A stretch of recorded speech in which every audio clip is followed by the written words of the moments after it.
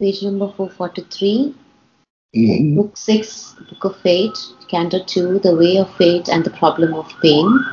We are uh, reading Narad's reply to the Queen Mother. Right. In one caul, is it is it call? Call?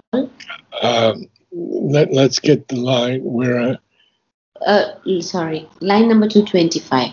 yeah, I can't find it this way, but I can find it in one caul. Call. Call, okay. C A U L. Call. Yeah, Yeah. we'll pick that up. In one caul, with joy, came forth the dreadful power. In life's breast, it was born, hiding its twin. But pain came first, then only joy could be. Well, we have a couple of words here. We have Okay. Call.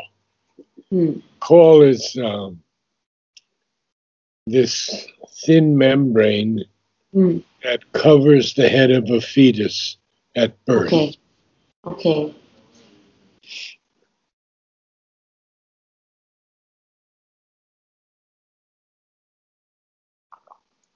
Okay.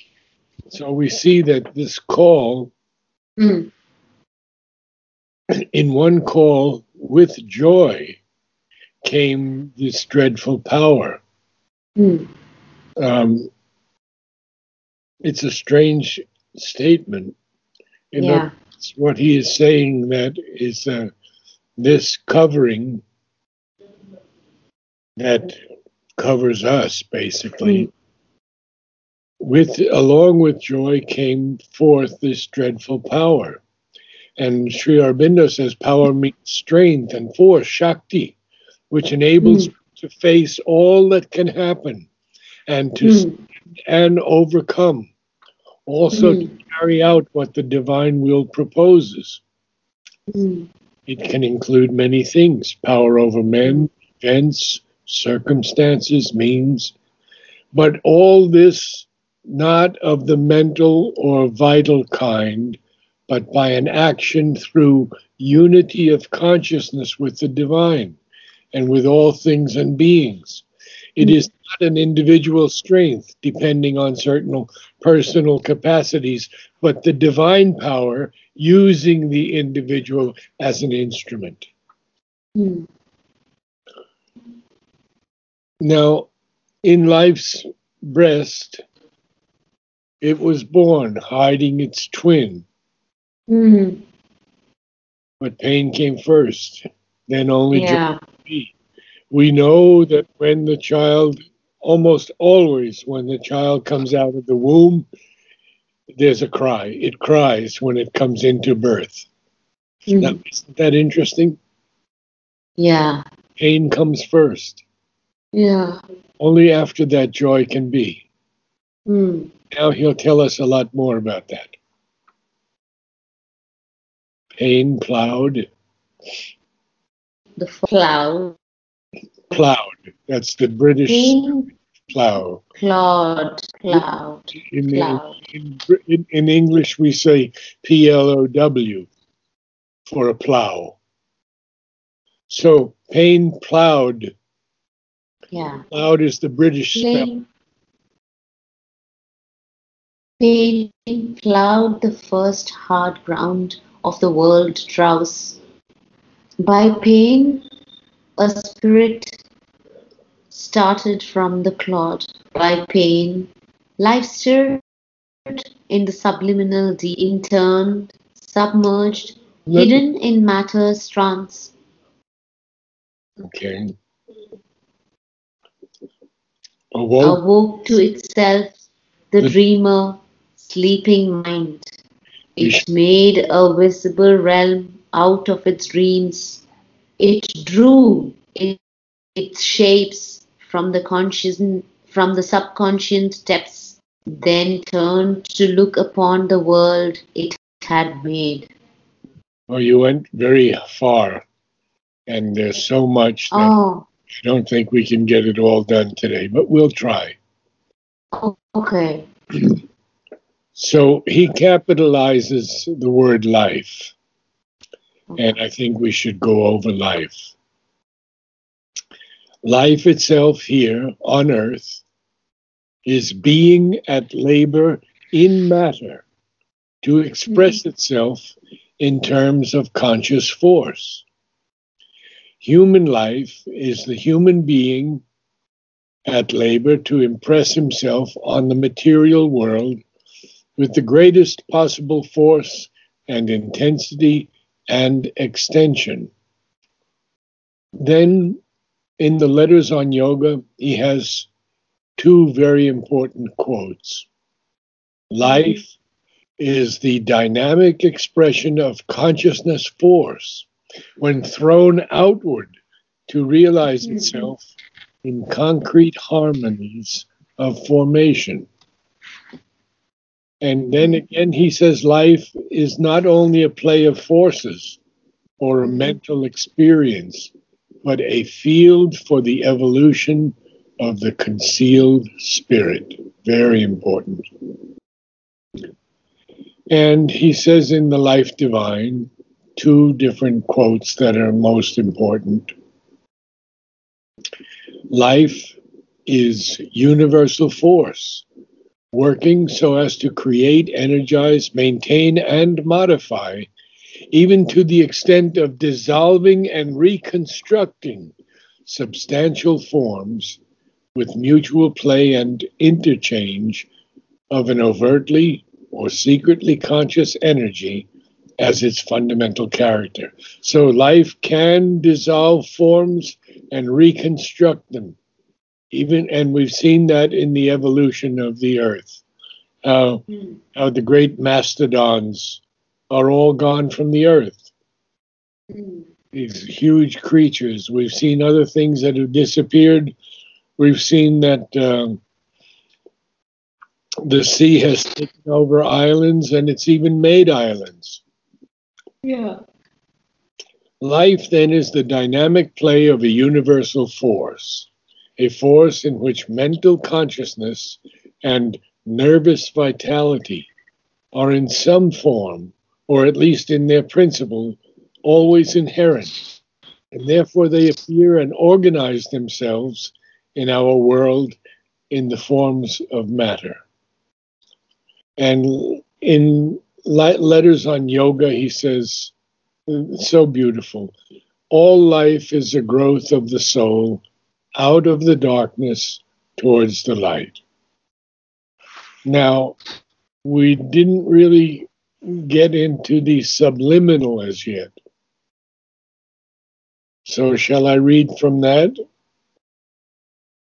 Or do you want to move on? we can move on. I think we also went through this like one other time around the subliminal, so I think we can move on. Okay. So interned means restricted or confined within mm-hmm. limits.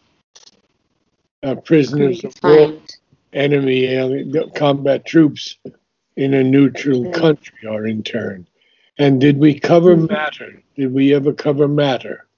No, we have not covered matter. So we'll have to do that now. Because Sri Aurobindo has much. Do you have your book? I, I do have our Savitri book, but not. Uh, okay. Oh, yeah, you have to get that from lexicon. The... Now that I'm traveling to Pondicherry. Yeah, yeah. Yeah, you get it from her. Um, matter is by no means fundamentally real. Ah, it is a structure of energy this this whole section to me is so interesting because science has come to that this finally. Yeah. Matter is the form of substance of being which the existence of Satchitananda, a trinity of existence, consciousness, and delight, assumes when it subjects itself to this phenomenal action of its own consciousness and force Matter is the body or field of a consciousness hidden within it. The material universe, a form and movement of the spirit. Oh, God. Now, The creative energy in matter is a movement of the power of the spirit. Matter itself cannot be the original and ultimate reality. At the same time, the view that divorces matter and spirit and puts them as opposites is unacceptable. Matter is a form of spirit, a habitation of spirit. Matter is only so much mobile energy vibrating intensely into form. So we see a desk or a chair and we think it's a desk and a chair, and all it is is a mobile energy vibrating intensely into form. We can see here how how vast Sri Aurobindo's consciousness is. Mm. He's writing this in the 1940s Yeah. when science had no idea of this. And he says uh, in Essays Divine and Human, matter is but a form of consciousness. Mm. And then he says in the synthesis of yoga, matter is a formation of life that has no real existence apart from forming universal spirit, which gives it its energy and substance. And in synthesis again, he says, in fact, matter itself is only an obscure form of the spirit. If we could understand that, it would be incredible. Wow. For there seems to be no reason why life should evolve out of material elements or mind out of living form, unless we accept the Vedantic solution that life is already involved in matter and mind in life, because in essence, matter is a form of veiled life. Life, Mm. a form of veiled consciousness. How beautiful. Yeah. So then he says, uh, after all of this, and we still have mind to go, but that's so long that uh, we have mind and we have the subconscious, that perhaps we ought to leave that for another time.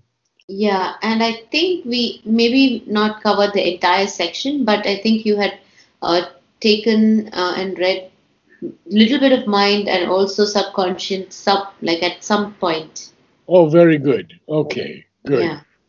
So then, I'm not sure about the mind, but definitely like we had gone through subconscious okay, so let's go on three more lines and, and we'll quit after Yeah. three lines.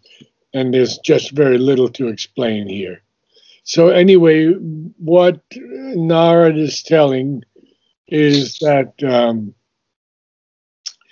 this dreamer, sleeping mind, uh, that is uh, actually, and, and life itself is hidden in matter. And that's what he just explained. It's hidden in matter's trance and and then it awakes to itself this sleeping mind and it makes a visible realm out of its dreams Mm.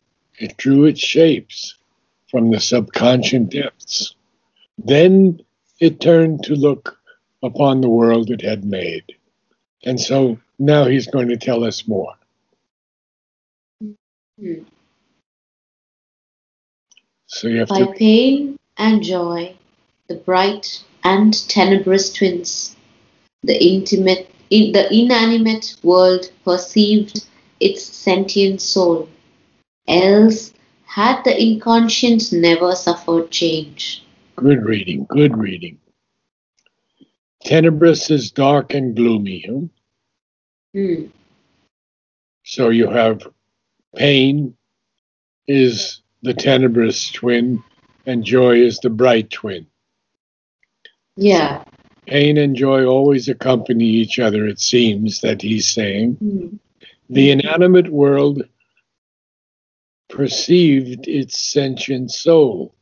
So he says through pain and joy, these Hmm. two these two bright and tenebrous twins, the inanimate world perceived its sentient soul.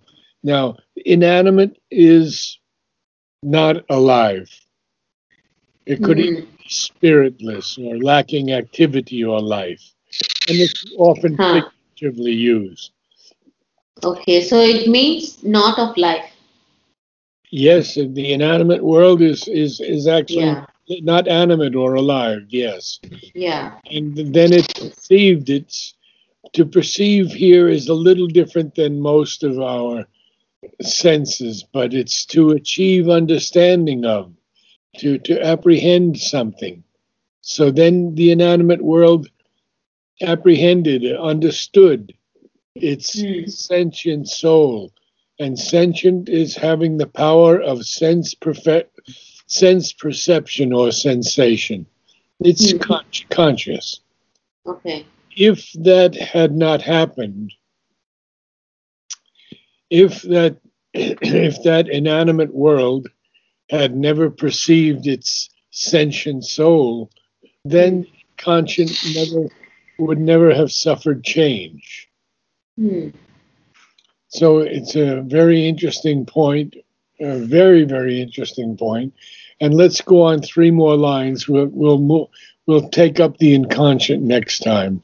Yeah, but I just wanted to uh, check in if this is like how I understood is uh,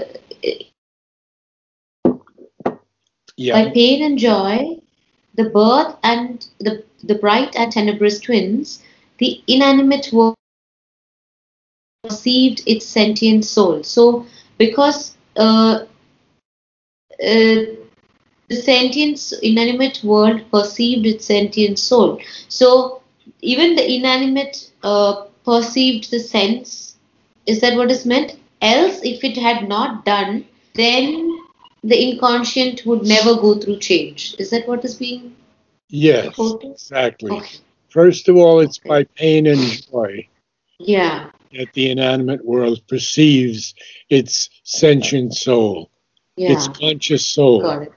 Otherwise, otherwise, the inconscient would never have suffered change. Allowed, Yeah. suffered here is allowed. Hmm. Uh, Ah, okay. Yeah. yeah, because that's a different use of the word suffered.